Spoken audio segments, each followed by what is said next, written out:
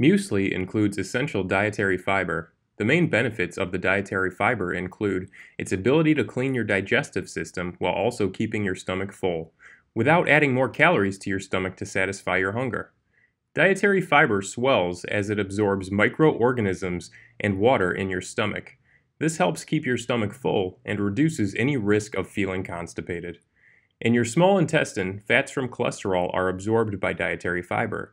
This helps keep cholesterol out of your bloodstream. This helps prevent stomach issues and diseases while lowering your overall cholesterol level.